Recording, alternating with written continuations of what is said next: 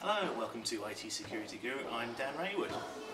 Now, a couple of very interesting stories have come across my desk in the last 24 hours here at IT Security Guru.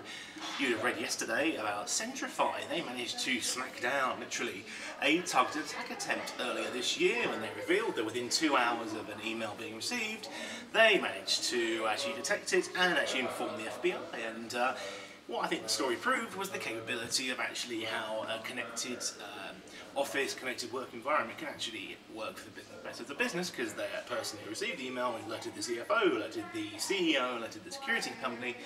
They were a security vendor, Centrify, they still are, and they did it the right thing and it was uh, defeated and uh, very technical attacks. Do read the story there.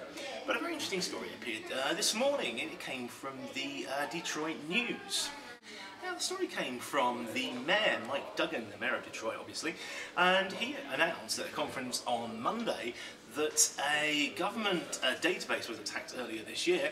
Uh, it was frozen by an attacker and held for ransom. That uh, attack was after 2,000 bitcoins, uh, works out about $803,000. And um, you know, the re- it turns out the ransom wasn't paid. They, they held firm. They said, no, we will not pay. We will do the right thing. And uh, not.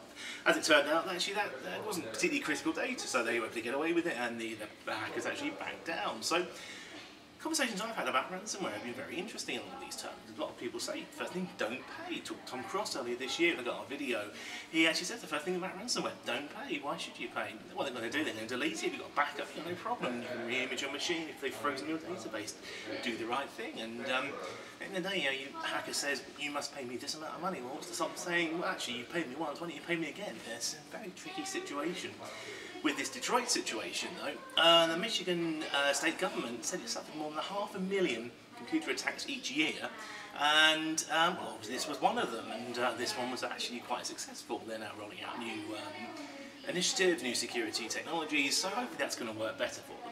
Now the mayor did say it was a good warning sign for us. Sometimes you need a little bit of a warning, a little bit of a stir up to make you think a bit more realistically about the sort of environment you're working in. Obviously seems to be the case with Centrify as well. So um, maybe if these stories have done nothing else this week, then maybe maybe you think maybe it's time to back up, time to re-image or just check that people are talking to each other in the organisation properly.